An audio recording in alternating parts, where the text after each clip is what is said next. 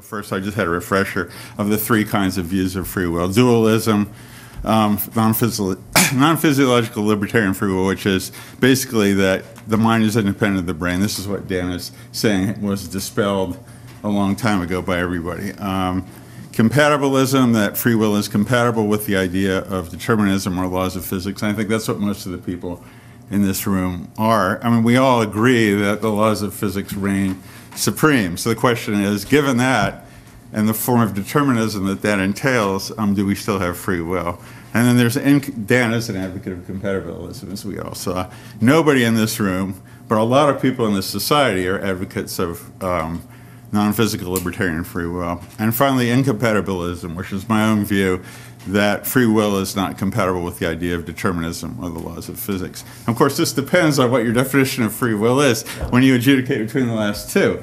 And I would maintain that compatibilists have redefined free will from its traditional and indigenous meaning in society in a way to either I mean, I think Dan's motivation might be the one to, to keep people from acting like beasts, as far as I can see. Um, there are conflicting results between different scientific studies about whether people are innately dualists or not. Um, the people I've talked to, when you tell them that their decisions have already been made for them before they make them, are shocked. I mean, and when you question them more deeply, you realize that people seem to indeed think that they are agents and they can really make decisions. But that's just my personal experience. so, um, so anyway, I'm an incompatibilist. I think that I retain the definition of, this is my definition of free will. You have to have a definition of free will in order to be able to see whether you're compatibilist or incompatibilist.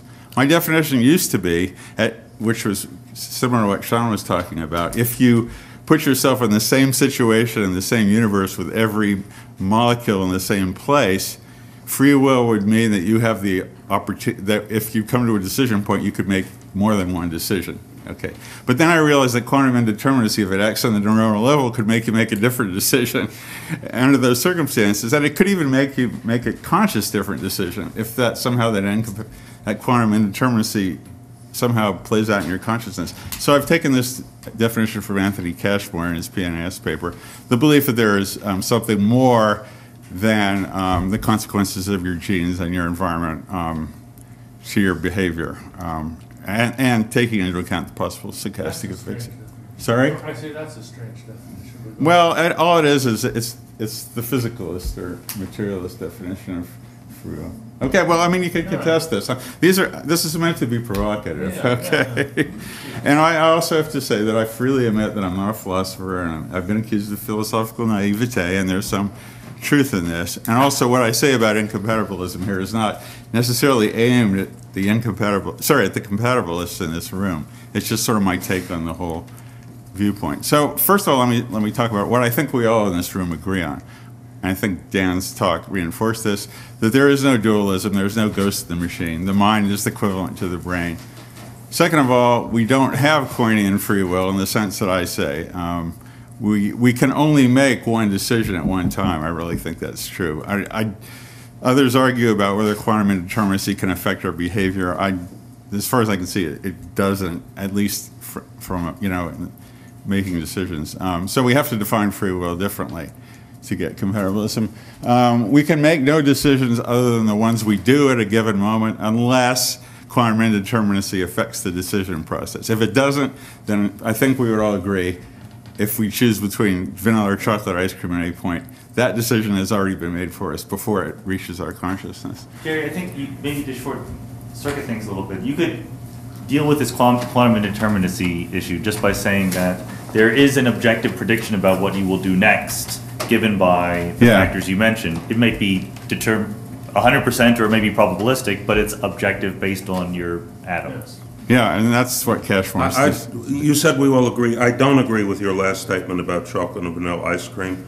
I don't think that even on a completely non-dualistic point of view, that we uh, are, that are, that the- the decision is made that we will have chocolate or vanilla uh, before we consciously decide that. Okay, well, there's some neuroscientific experiments. I mean, some people I- take issue with these about that you can predict which button you're going to That's- press with a certain degree of accuracy before you consciously decide which Yeah, button uh, you're well, going we to can press. discuss those Yeah, experiments, okay. but they, they're very, in a very limited context anyway. Yeah, okay, well, Pushing anyway, buttons. given the laws of physics, I, I claim that this is almost an a priori truth.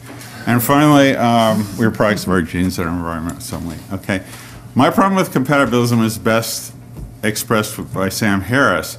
I mean, in some sense, I agree with Dan that we have a manifest image of free will, but I think it's, it's crucial to recognize the reality um, for other reasons. I mean, Dan wants to keep the manifest image because he thinks society will fall apart if we don't accept it. I think that there are pernicious consequences of of not recognizing determinism in terms of our decisions. And, and one, well, my problem is is about you know what's really going on. People feel that they're the authors of their decisions, and this is the only reason why there's a problem of free will worth talking about. That is, are we really the authors of our decisions? Dan says no, we're not, but it doesn't matter. Okay, I say No, I it- say we are the authors of our Okay, decisions. well, But that- we're perfectly material things. We're, we're moist All right. robots who are the authors of our decisions. Well, in the same sense that a computer is an author of its decision. Well, but we have to look closely at what kind of computer it is. Mm-hmm. Okay, I'm almost done. Good comparison. Can you, can you say more about that, Dan? Yeah, I will, but All let right. Jerry. All right, sorry. Um, So I think there's a certain number of um, similarities between sophisticated theology, which is, this is deliberately meant to be provocative and not to really be insulting, but there are some similarities between theologians who don't recognize the truth of the Bible, but nevertheless tell it to their flock in order to keep them compliant, um, and compatibilism. The first one is um, that both define old notions, in the case of theologians, biblical literalism, in the case of compatibilists, free will, and then claim that nobody really believes these anymore. There are plenty of compatibilists who say nobody's really a dualist, okay? Second of all, both set humans aside as special. Um, many compatibilists, I'm not sure the ones in this room, say that only humans have free will and animals don't, computers don't, etc. So we're set aside in that respect. Um, And in both cases, academic doyens sometimes say that it's dangerous for the public to know the truth, um, either about, you know, the fact that our decisions are determined by our environments, our genes, or that, you know, maybe God exists as a ground of being rather than as an actual sky father up there. Okay. Um, Should we hide it from the public? Um, This is from Dan's Erasmus paper where he says explicitly that if neuroscience are saying that it is no use, we are already puppets controlled by the environments. They're making a big and potentially harmful mistake. But I think it's true that we are puppets. I mean, we are the puppets of our genes and our environment, and they completely determine what decision we make. So um, there's another quote below that it's likely to have, which Dan just said, profoundly unfortunate social consequences. Um, and another quote, which Dan uh, made on the Point of Inquiry podcast in 2011 we don't want people disabling themselves with bad science. Um, I think this is a very serious issue. Well, I'm not sure that saying that determinism reigns or the laws of physics reign is bad science. And when I see a quote like this, it reminds me of something that Alex said yesterday. Um, my dear descendant from the apes, let us, let us hope it's not true, but if it is so, let us hope it not, it does not become generally known. I.e., let's keep the public unaware of determinism, okay? Um, We don't really need to know, this is, yeah. I- I- Is it time to? I'm almost done. Okay. This is my next to last slide. I'll I tell you when it's done. Okay, this is a comment on one of my readers' blog, what we're up against. Human will is not free, but we must say, we must not say it is so. Um, uh, So, two more slides, actually. Why, com- why I think that it is important to concentrate on more than just the manifest image in the case of free will.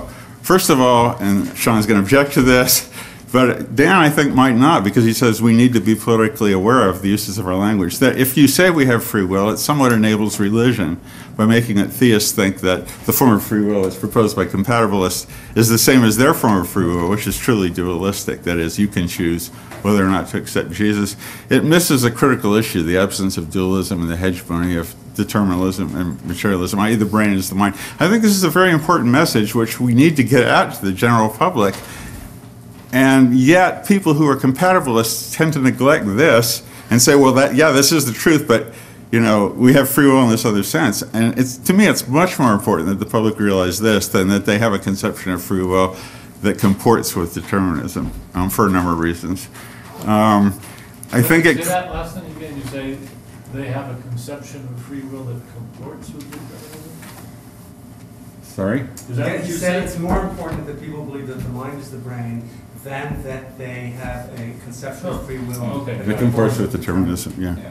Um, uh, I think it takes, it may have the danger of taking the science out of the question of free will. I mean, people tend to dismiss the Libet experiments and the Soon et al. experiments on grounds other, no more substantial, as far as I can see them, that they don't like the results. Oh, Uh, no, those are, those are, I, believe me, I will take those experiments All right. apart. All right, well, I mean, this is meant to be provocative and engender It discussion. has been done. Um, I think it sidesteps the questions of morality and moral responsibility. Are there, if we are truly deterministic in our decisions, does the concept of morality and moral responsibility have any meaning at all? I mean, maybe the concept of responsibility does, but not moral responsibility. And I think the most important reason why we have to keep our eye on the true reality rather than the manifest images, because I think it has different consequences for retribution and punishment.